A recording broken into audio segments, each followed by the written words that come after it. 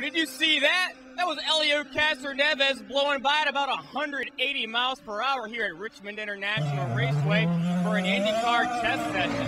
Castroneves was joined by Dan Wheldon, Ryan Briscoe, EJ Viso, and Rafa Matos for a day of on-track activity in preparation for the Saturday, June 27th SunTrust Indy Challenge.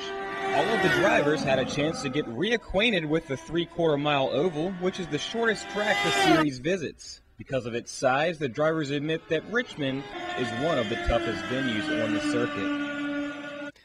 You know, Richmond has always been an incredibly tough track to get around, and uh, you you can certainly see, you know, by by the races that we've had here in the past. It's one of those racetracks where if you have, uh, you know, a, a, good race car, can be incredibly rewarding. This is a fun track, and uh, I'm, I'm glad to be back here. I'm very happy to be back in, in Richmond.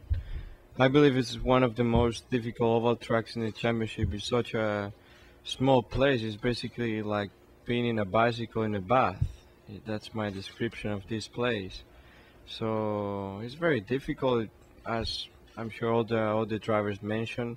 There's no any place for mistake. I mean, no question, Richmond is a very challenged place. Uh, we're talking about um, under 17, 16 and a half seconds a lap time you can see that it's very, very fast. Even though we don't achieve speed like 220 miles an hour, inside the cockpit, it feels like that we are we're extremely fast because we don't have time sometimes even to look to the lap time that you're turning.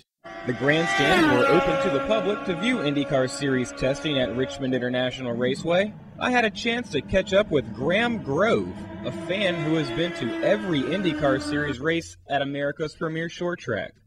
It's just a rush and then to see him come around for the uh, for the uh, startup laps, it's really really cool. Your heart starts beating a little bit, and uh, it's just a really it's an emotional event. It really is, and uh, it's a it's really wonderful to be able to have them all out here. These guys will be back in town on Saturday, June 27th, for the SunTrust Indy Challenge IndyCar Series race under the lights. Tickets are available at RIR.com or by calling 866 455 RACE.